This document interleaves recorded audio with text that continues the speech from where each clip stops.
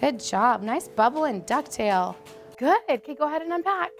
Go ahead and unpack. In preschool, our main goal is to give them hands-on learning experiences that prepare them for kindergarten. I want you to trace right here. Okay, great job. And we want them to go in um, fully ready for what kindergarten is nowadays, being able to write their names, being able to identify their colors and shapes and numbers, and also the alphabet. Look right here. This starts with the letter D. D.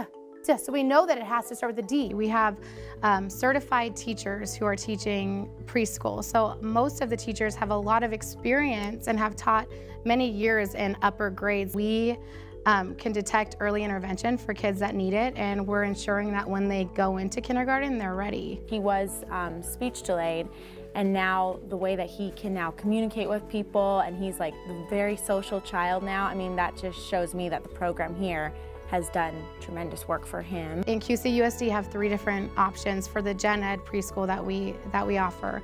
There's a two day a week pups class and those are three year olds so they're the little our littlest. Um, and then we have a three day a week um, kinder prep three and those are some of the kids are going into kindergarten next year and some still are um, not ready, and so they'll have another year of preschool. then we have a five day a week class, and those are the kids that are going to be going into kinder, and that's our kinder um, prep five. There are low numbers within the class, um, so they're able to really keep an eye and a pulse on what's going on in the classrooms. We need to see how many friends said, yes, I can whistle. Not only is there, um, do we do whole group, we have small group and centers, and we also really encourage the kids to um, be independent and learn independently.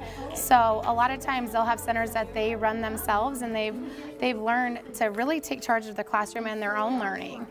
We're driving down the road and she's like, points to a billboard, oh my gosh, mom, that's the letter O. That's what we've been learning at school. Or she'll see numbers and she starts counting. This is my child's third year and I really wouldn't want him anywhere else. I mean, the, the way that the program is so structured and the kids just love coming here and they have so much fun and they talk about how much like they love school. I mean, what more could a parent really want?